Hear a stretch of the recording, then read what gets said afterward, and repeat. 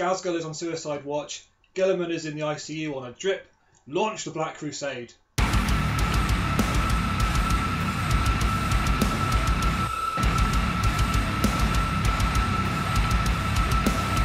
Wow, this is incredible. I've never seen such an amazing data slate. This is take two. Tried it the first time, had my cat in here, didn't work out, too distracting, kept losing my train of thought. So he's gone out now. I'm going to try this again and hopefully it'll turn out better. Um, my friend sent this to me at work today. It, I, I looked at it in the canteen at work. I was laughing like an idiot. Um, this has made me so excited. I have to contain myself today because it's one o'clock in the morning, gone that now. My second recording, so it's about half one in the morning now. Um, people are asleep, got to be quiet. But oh man, this is this is incredible. I'm so excited. We just got to talk about it. No preamble, nothing. Let's talk about it.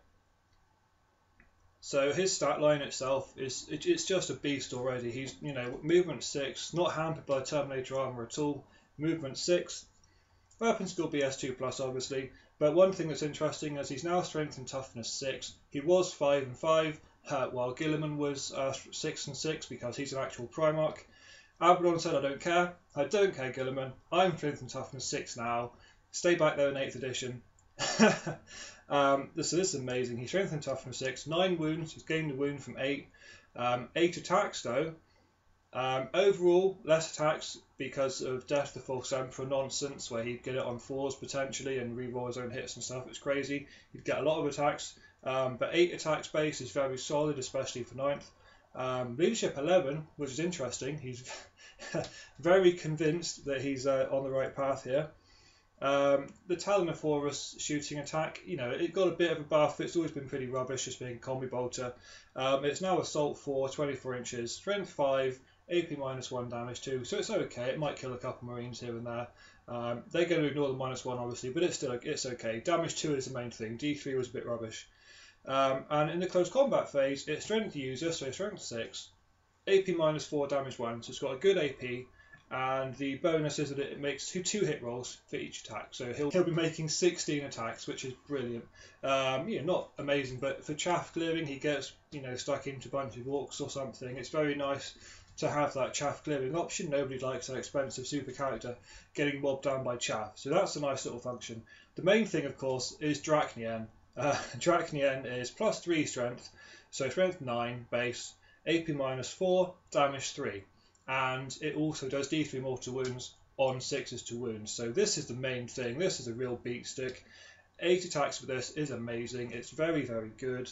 but to be honest with you, the main uh, the main point of excitement is not even necessarily how killy he is, it's how amazingly survivable he is, and also what quite a good buff character he is. He's got a lot of special rules.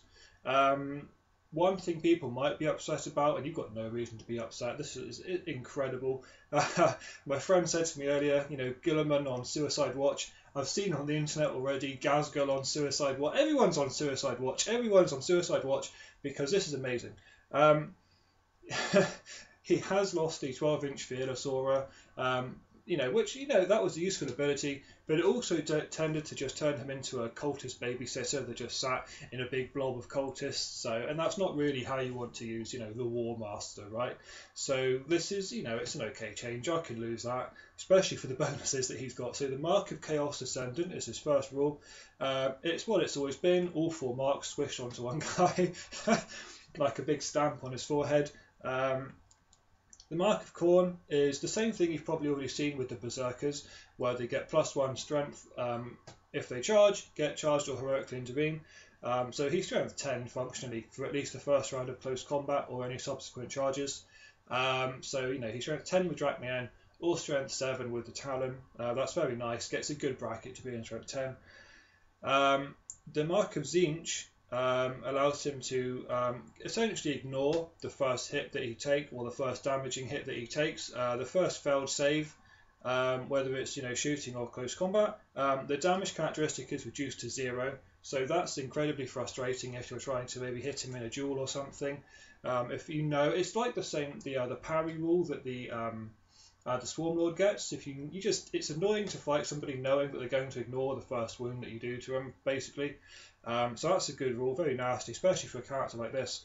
Um, the Nurgle rule It's very interesting. It's the first rule I've ever seen worded this way. Um, it's a very. I was just. I was about to go off on this this whole wrong explanation. I read it wrong. Well, I didn't read it wrong, but I interpreted it wrong myself. So let me read it properly, and then we'll talk about it. Um, each time an attack is made against this model, if the strength characteristic of that attack either equals or is at least double the toughness characteristic of this model, subtract one from that model's wound roll. So you know, if you're less, it's not going to affect it. You're still going to win on fives or sixes. If your strength six, you'll be minus one, so it will, you know, it will go from fours to wound to fives to wound.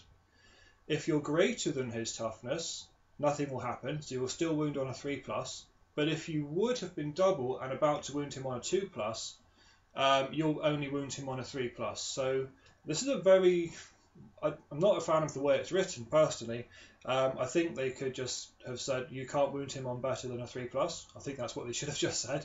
Um, it's basically the same what Archaon has in fantasy. But anyway, um, I think there would have been a simpler way of writing it. But it's it's okay. It just might need a bit of um, uh, a bit of discussion with your opponent to make sure you both know exactly what it is because it's a bit fiddly. But functionally, you aren't going to wound him on twos. and if you were going to wound him on fours, then it's probably now fives. So it's good. It definitely helps with his survivability.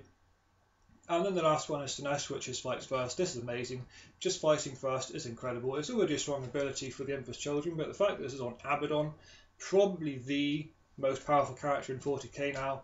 Never mind uh, nobodies like Mephiston, never mind Draigo. never mind Guilliman, never mind uh, Ghazghkull, nobody. He is the king, he is the war master, that's the end of it. Now, um, he has the Dark Destiny rule, which is the 4 plus invulnerable save, um, and he can't suffer more than 3 wounds per phase, so he doesn't half damage anymore, but he only suffers 3 wounds per phase. This is not one of my favourite rules. Not going to go off on it in this video because it's unrelated. Well, you know, for this video it is. Uh, not a fan of this rule personally. However, it seems like all the main sort of beatstick characters are getting it, so you know it's good to be part of the club you don't want to be the one left without it, like Guilliman is basically at this point. Although I'm sure that when he does get a reader of rules, he will also get this. Um, it's you know I didn't like it the first time I saw it with the C'tan when they gave it to the Nightbringer and stuff, but um, now they're giving it out to more people. You know it's all right. I just it, it, I get I feel like I don't like it from a game perspective because it makes you know dealing with models awkward, but I like it from a narrative perspective that you, when you take these big, powerful characters that really do have the potential to just one around the other one, um, you, it's disappointing to have this clash in the middle of the battlefield and then one of them just dies before it even gets to attack, probably.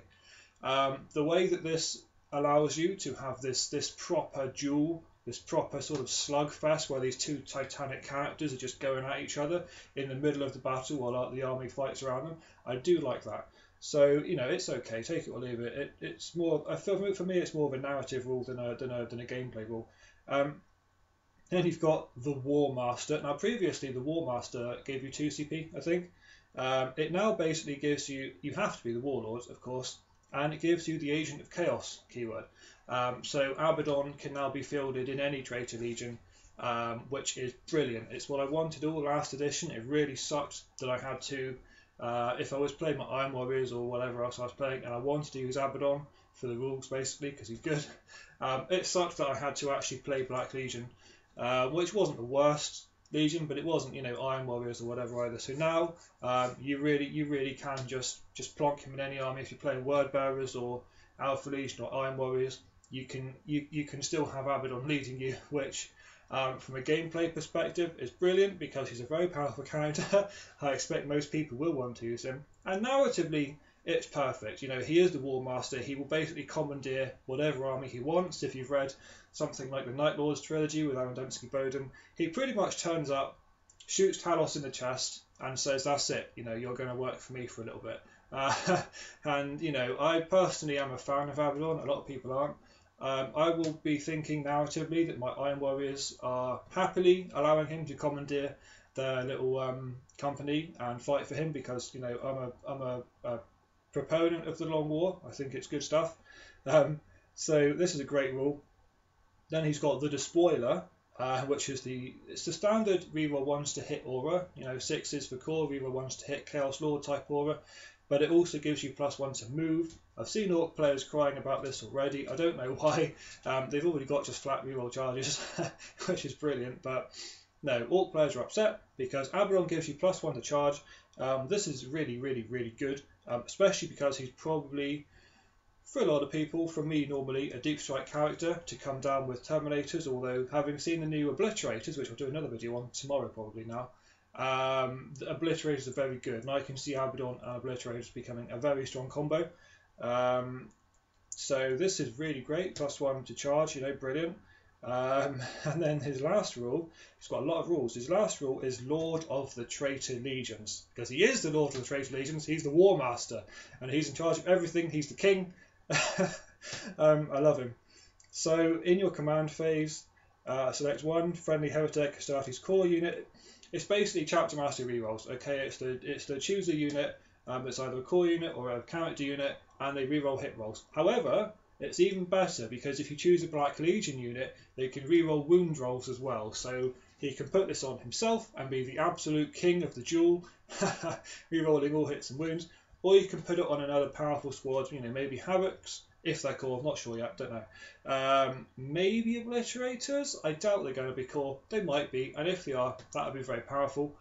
Um, I'm not exactly sure what core is going to be yet. I'm hoping Havocs are. I really am hoping Havocs are because I want the reroll ones to hit for the Iron Warriors. Um, but you know, we're not sure yet. We'll see. But still, even if there's not a good choice for core because you can't put it on anything useful, Although I'm sure that these Terminators will be. So if you have a nice Terminator unit, you know you can it. But for me, this is going straight on himself, and he is going to kill whatever he touches, and then probably survive the return firepower because he's very uh, durable now. Now that's it for the data sheet. Um, this this is this is amazing. It's a wonderful data sheet. He's 300 points. I can't remember whether I said that earlier already or not, but he's 300 points. I think that's a steal. That's a really good price. Um, I've heard some people say it's too much, you know, a bit pricey. I don't think so at all. You know, considering you've got to shell out 300 plus, you know, 380 points or so for um, Guilliman, considering Ghazghkull himself is 300 points, I think you're getting a lot more for your points than either of those characters. Um, he's definitely at least on par with some of the Demon Primarchs, I think. Um, he's an incredibly powerful character this is. Um, I, I think that you know, I mean, he always was the type of character you saw in most lists, uh, especially if people were playing Black Legion. I think that now that you can stick him in any Chaos Legion, you're going to see Abaddon, and not every game exactly, but probably almost every game because 300 points is very good. I could see it going up in the future. I could see it maybe going up in a Chapter Approved, that sort of thing, 350, something like that. But let's hope not, because that would be a shame. Um, I haven't got too much else to say because I want to do another video on other units, um, probably tomorrow now. It's getting late. I want to just get this one out there. Um, he's amazing. He's really amazing. He's such a beast. He is the king. He is the war master. Yeah, a lot of people don't like him. I know a lot of people don't like him. I love him personally. I've never stopped loving him. I know that from Major Kill to other people on YouTube, everyone's making videos crapping on this poor man. I think he's a beast. I love him. and I, I just I love that he's got amazing rules. I can't wait to use him. There's a lot of negativity coming. I will I will warn, warn you. Um, I, you know from the rest of the codex, a lot of stuff I'm not fan of. Um, but this definitely I think is going to help um, balance the scales. So if I'm whinging about Terminators or something like that being ruined, um, at least Abaddon's good. So yeah, I'm going to leave it short tonight. I could ramble on about this for ages, saying how, how amazing this is, how great Abaddon is, the Chad Badon, I love him, um, but I'm not going to. Let's keep this short. So thanks for watching if you did, and I will be back hopefully tomorrow with at least Obliterators, maybe more because there's a few leaks out there that I want to talk about, um, and some other reveals I've got to talk about. So anyway, goodbye for now, and thank you.